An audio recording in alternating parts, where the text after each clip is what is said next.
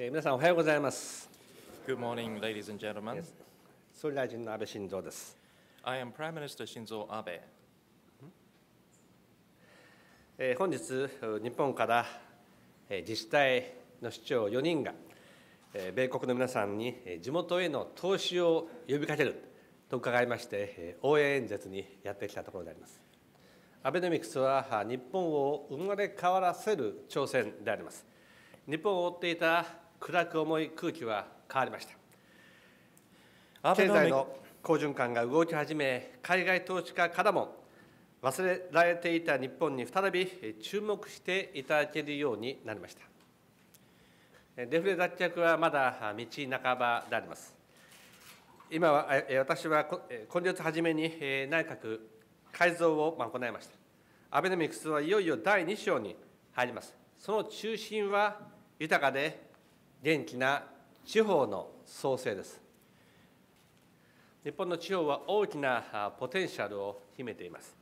私たちはこうしたポテンシャルを発揮させるため、さまざまな規制改革に着手しました。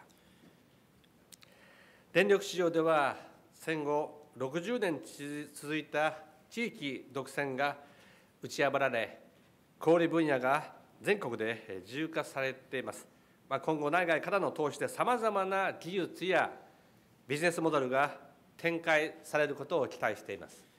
農産物の輸出額は前年比22%増加をし、過去最高を記録しました。そしていよいよ60年ぶりに農業関連組織の一体的改革に着手し、新規参入を促進します。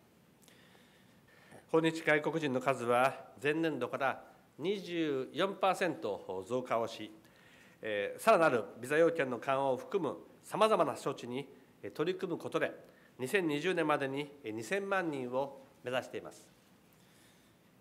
地方では大都市よりも高齢化が進んでいますが、新たに地方の特色を生かした医療・介護サービスの一体的経由を可能にします。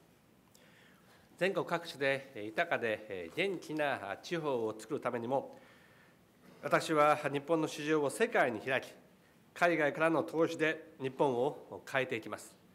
女性が輝く社会づくりにもえ取り組んでいます。え TPP にも全力で取り組んでいきます。え在外交換とジトロが連携し、え総力を挙げて日本への投資を考えている経営者を全面的に支援する体制も整えています。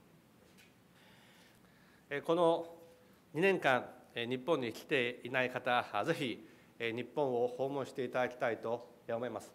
我々が政権を取る日本と、その後の日本は大きくえ変わりました。ぜひ日本を見ていただき、日本に投資していただきたいと思います。Thank you very much.